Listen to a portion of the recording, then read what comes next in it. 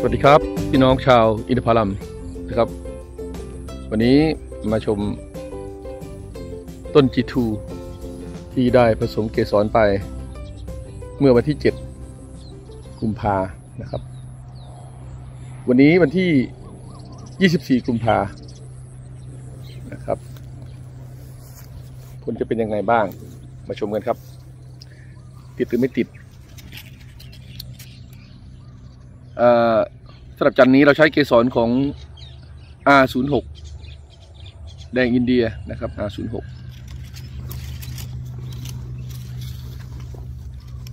โดยรวมนะครับก็ ถือว่าติดนะครับ ถ้าติดเนี่ยจะดูยากหน่อยนะครับ ดูยากกว่าไม่ติด ไม่ติดนี่ก็จะเป็นสามแฉกชัดเจน แล้วก็จะยังเขียวอยู่ แต่ถ้าติดเนี่ยมันจะเป็นแบบนี้นะครับเนี่ยเป็นแบบ มีแห้งๆนะเนื่องจากต้นเนี่ยมีอายุน้อยนะครับ บางทีหนวดของเกสรตัวเมีย อาจจะไม่ค่อยแข็งแรงนะครับ การรับเกสรตัวผู้เนี่ย ก็ไม่ค่อยสมบูรณ์เท่าไหร่นะแต่ว่า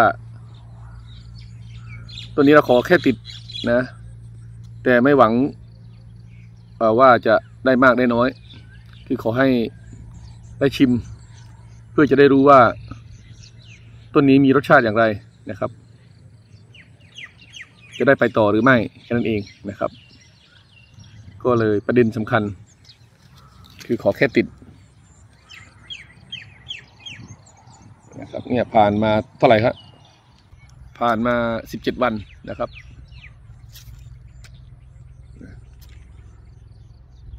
ที่ติดก็ดูง่ายนะครับเนี่ยครับ จะเป็นกลมๆแบบนี้นะครับ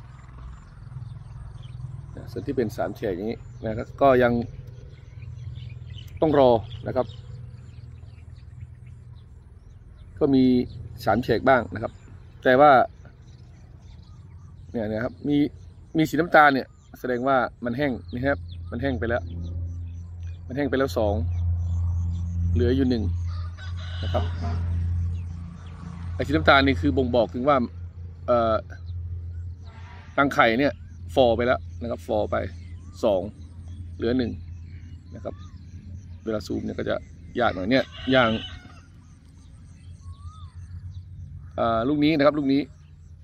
เนี่ยนะลูกนี้รังไข่เท่ากันหมดทั้งสามเลยอันนี้ยังดูไม่ออกนะครับ ต้องรอยนิดนึงครับ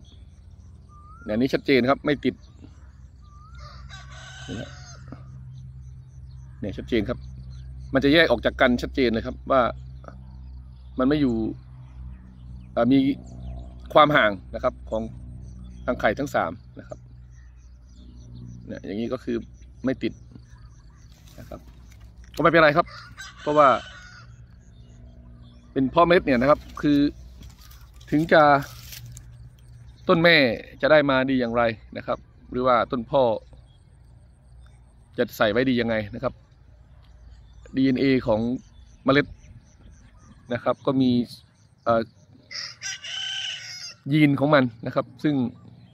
มันอยู่ตั้งแต่รุ่นปู่รุ่นย่ารุ่นทวดนะครับ อาจจะซ่อนอยู่แล้วยังไม่แสดงออกมา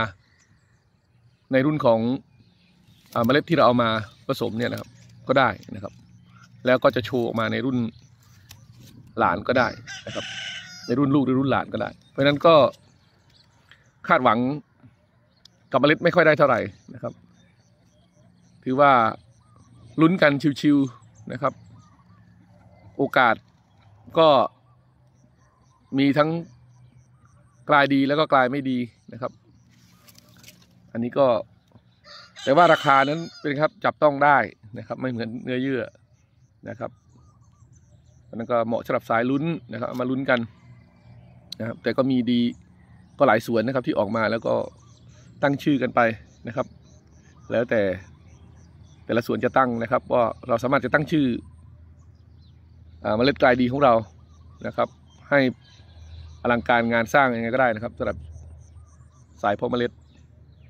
ไม่มีสิทธิบัตรไม่มีลิขสิทธิ์นะครับ แต่รู้สึกว่าสายบาฮีนะครับจะยาก สายบาฮีนะครับ ที่แอดมินเคย เพาะมาไม่ค่อย หาดียากมากนะครับ อ่า แต่สายที่เขาบอกว่ามีดีเยอะนะครับ ก็คือ beginning Josie นะครับนะอันนี้ก็มีข้อมูลจาก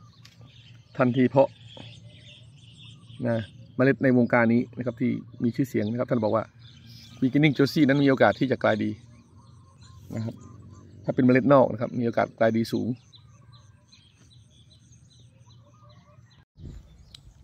ครับต้นนี้ก็เป็น beginning Josie นะครับ วันก่อนแอดมินคิดว่าจะได้ตัวผู้ซะแล้วนะครับ ก็ปรากฏว่าได้ตัวเมียนะครับ อันนี้ผสมเกสรไปเมื่อวานนะครับ แล้วก็ผสมทับอีกวันนี้เป็นวันที่สองใช้เกสรของ R06 เช่นเดียวกันนะครับ ก็เผื่อเผื่อว่าออกมาแล้ว นะรสชาติดีนะครับ เราก็จะได้เพาะเมล็ดต่อเลย ถ้าออกมาแล้วรสชาติ ไม่ได้เรื่องนะ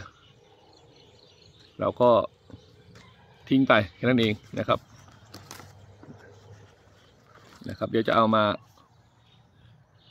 หรือแบ่งปันพี่น้องเอาไปลุ้นนะครับดีไม่ดีเมล็ดของมันอาจจะเอาเมล็ดของรุ่นนี้นะครับ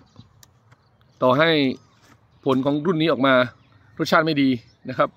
แต่ไม่ใช่หมายความว่าเมล็ดของมันเอ่อถ้าไปเพาะต่อแล้วจะไม่ดีตามไปด้วย เพราะมันอาจจะมียีนดีที่ซ่อนอยู่ ที่จะไปแสดงต่อในในรุ่นลูกของต้นนี้อีกก็ได้นะครับนะ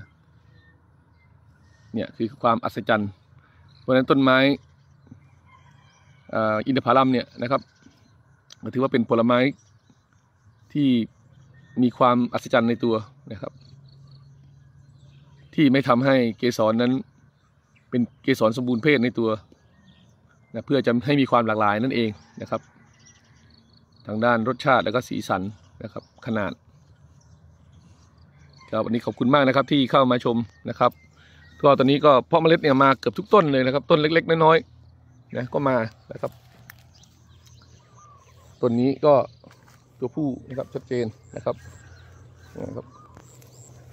เป็น beginning Josie เหมือนกันต้นเล็กนะครับแต่ก็ยังออกจันนะครับ สู้แสดงเพศออกมาให้เราเห็นนะครับ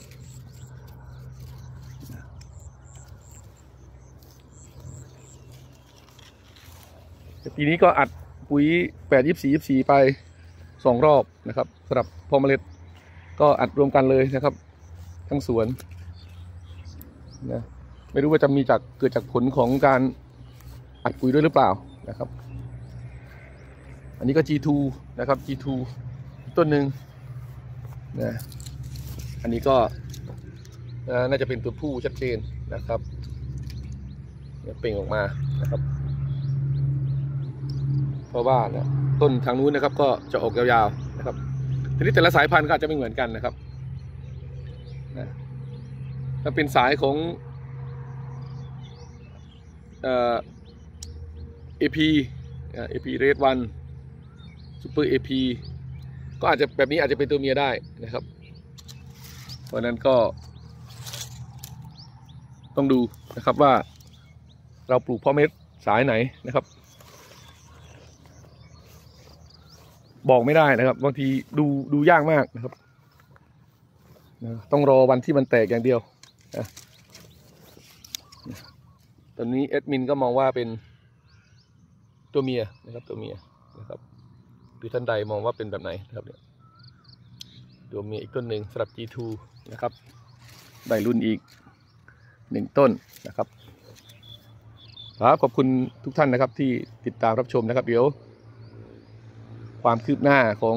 แต่ละต้นรสชาติเป็นอย่างไรนะครับสำหรับสายเมล็ด ก็จะมาอัปเดตให้ท่านได้ชมอีกครั้งหนึ่ง วันนี้ต้องขอขอบคุณมากครับ สวัสดีครับ